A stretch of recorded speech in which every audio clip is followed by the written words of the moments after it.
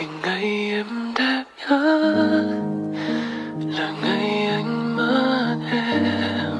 Dù đớn đau như vậy, đành chấp nhận ta chỉ đến đây.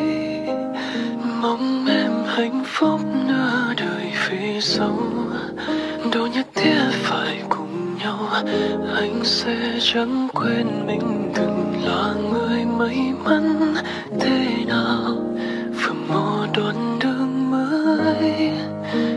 chờ em đến nơi, hãy hứa với anh là khơi lại thời thanh xuân đã qua.